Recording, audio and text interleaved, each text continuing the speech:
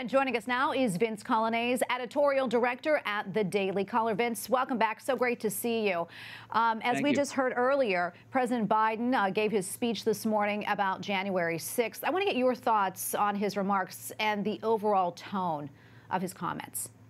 Well, I was disappointed fundamentally in how dishonest his remarks were, as well as the vice president of the United States. Uh, she started, Kamala Harris did, uh, and she compared last year, January 6, 2021, to the events of 9 11 and December 7, 1941, Pearl Harbor.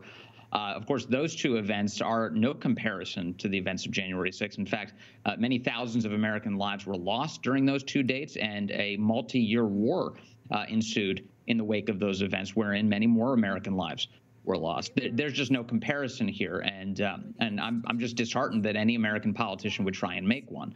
That said, the use of January 6th as a mythological device is very important to Joe Biden and the Democrats because at this moment they have very little to run on by way of success. Remember, Joe Biden, as a presidential candidate, ran with the promise that he would shut down the coronavirus. That, of course, is not true. We've just had record numbers of cases in the United States, and many more lives have been lost during the time that Joe Biden has been president of the United States rather than his predecessor. That kind of record is the kind of thing that's haunting Democrats right now.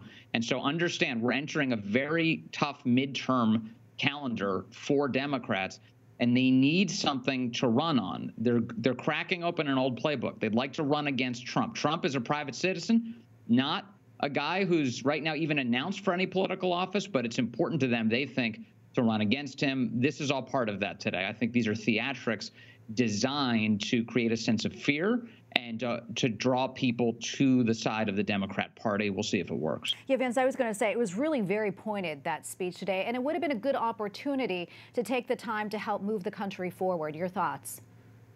I, I think that this served the opposite purpose. I think that this was a wedge today. It was a divisive statement meant to rally the base, not to unify the country. Uh, you know, I was writing notes this morning about what to expect based on sort of the excerpts of the speech that were coming out ahead of Joe Biden uh, actually speaking. And I wrote down Biden intends to give speech, you know, a speech attacking Donald Trump in order to unify the country. What? How is, how is that going to work? And that seemed to be what how the White House was representing today's events. This was a deeply partisan affair. Now there are this, by the way, none of this is an excuse for rioting in the Capitol on January 6th. But in order to give a speech where you claim that you're going to be honest about those events, you truly need to be honest. Uh, and you need to work with the American people on moving the country forward. That's not what this was today. I think this set us back. Uh, tomorrow, the Supreme Court is actually set to hear oral arguments over the Biden administration's vaccine mandate. I'm curious, what are your expectations for this case? Well, we'll see. You know, we've had a number of judges so far, and the reason it's made its way up to the Supreme Court say that the Biden administration has run either afoul of the Constitution or the law itself. Uh, and uh, when it comes to the mandates that it's imposed on um, a variety of people from, you know, companies that have over 100 employees have been subjected to a Biden administration mandate. Healthcare workers across the country subjected to a Biden administration mandate. Federal workers and federal contractors as well, a vaccination mandate. Now, the limits on that, I mean, it's I, I, I, think should be obvious to a lot of people. One, it's like, wow, the government does it really have this much power over what you inject into your body, and can the president just at a snap of his fingers make that decree?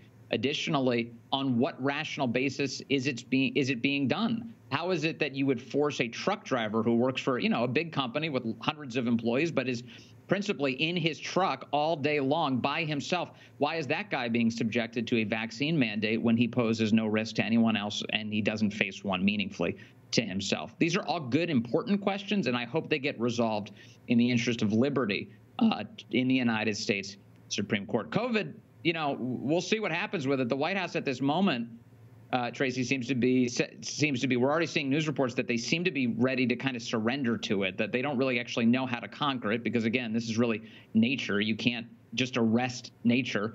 Uh, and they think, well, hopefully this is mild enough, this latest variant, Omicron, and uh, maybe it'll run its course and help us get past whatever uh, ill effects the pandemic might still have in store for us. Yeah, we hope so. And getting a lot of mixed messages there. Vince, great to get your perspective on everything. Good to see you. Happy New Year. Tracy, nice to see you. Thank you.